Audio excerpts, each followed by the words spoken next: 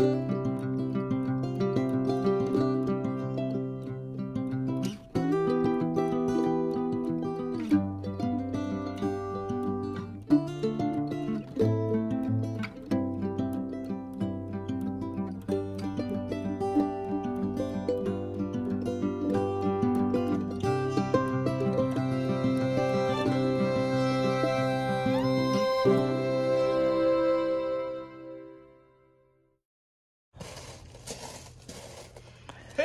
we're going to do a quick tour of our 6x12 Bend teardrop named Marvin.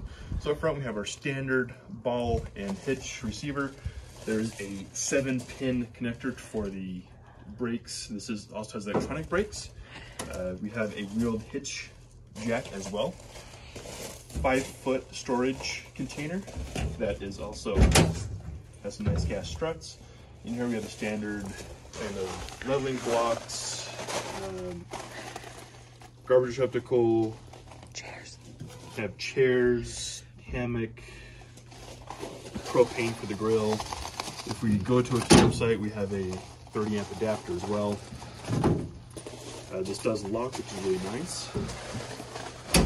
Coming around to the side. Then on the inside, of course, we do have standard RV doors on either side. Inside here, we have a California King mattress. They have the mattress toppers. So let's talk about the mattress. Now I just sat on this, but we have, let me get it out here. So underneath it's like a flooring finish. And then we have two mattress toppers together in a mattress protector and then a sheet on the top. Same with our pillows. We have pillow protectors and then a pillowcase, which makes them super kind of hard to sink in. Up on the full bunk, we have a mattress topper as well, mattress protector, and sheet up there. Super fun. with our sheets. Also here we have a shelf that goes above the head.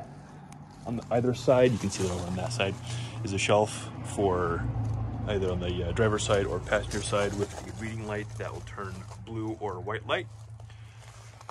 On the top, we have our three light switches for the interior lights. You can see our LED light strips there on either side. And then we have LED light strips on the outside as well. We have under storage. So under there, it's about 20 inches deep, and down there, it goes all the way to the end of the trailer. And then we have another storage cubby over there.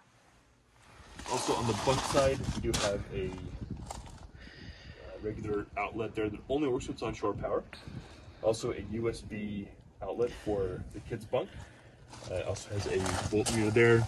And on this side, we also have another 12 volt outlet, as well as dual USB ports and a uh, voltmeter here as well. Okay, so here we have our galley, which is, I'm so excited about this. Right, in the galley, we have a door that goes up extra tall because I am six foot five, so I made sure that when we ordered this, we had that so I could sit underneath here and do any kind of cooking needed without risk of hitting my head. Mesh storage up here, don't put anything too tall because the guy can come down and potentially crush your bag of chicken things up there. Also mesh storage, three separated shelves, and then two drawers. up here.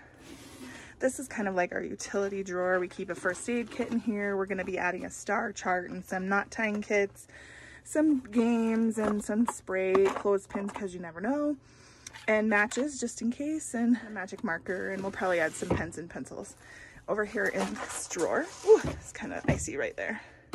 You have to do this with both hands unless you get, there we go. There's like a sweet spot in the middle. So we have all of the utensils and stuff here, enough for I think six people. All of the cooking extra stuff like scrapers and can opener and measuring cups and things. So down here we have, this is where we keep our stove, tablecloth, oven mitts, and then the cooking utensils, and pots and pans, and there's plates and have our bowls in here. And then there's a 12 volt there. And then this is all of our battery and solar stuff over there. Also in the galley, you'll see that we have party lights. These will, you can set this up to blink what the color is doing now. You can change if you want solid color or whatever you want there. You got the light switch, regular, again, 12 volt plug, and dual USBs. Okay, 110 outlets. Right now it's green because this is connected to the house on shore power. When you do connect to shore power, you do need to press the reset button, and this is a little stiff. So until it gets kind of broken in, we take a key or something along with it and press that to make sure that goes in. The sink, we don't have any onboard water storage. There is a two gallon modified Coleman cooler that has our spigot. Turn this on here, you can regulate the flow by twisting the nozzle there. Drained in the sink. The sink goes into a pipe that just drains underneath the trailer itself. Side, that goes our shore power connector. Since this is such a small trailer, if you had a regular 110 plug at an RV park or campground, you can plug it into that. Or we also, as I showed earlier, we have that 30 volt uh, or 30 amp everyone, thanks for tuning in, and we'll catch y'all in the next adventure.